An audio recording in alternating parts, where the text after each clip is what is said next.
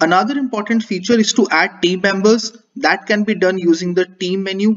You can just click on add team member and enter the email address.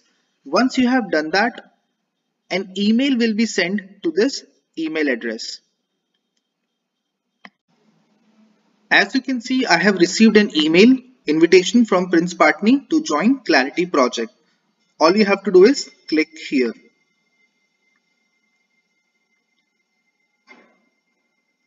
This would again ask this new email ID to sign up for Clarity.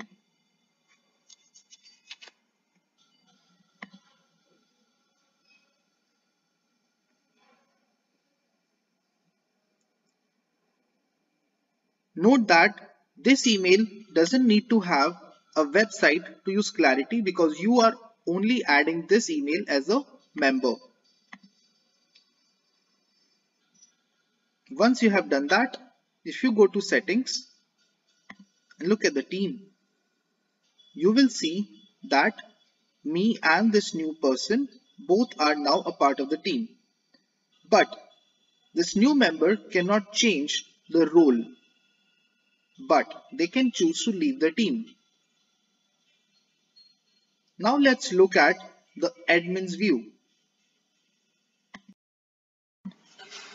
In the admin's view, as you see that this new person is now a member. The request was pending and this new person has, uh, has accepted the invitation. So now he is a part of this team. The, as an admin, I can change the role I can become a member or an admin and I can make the other team members as an admin. I can also remove a person that I have added.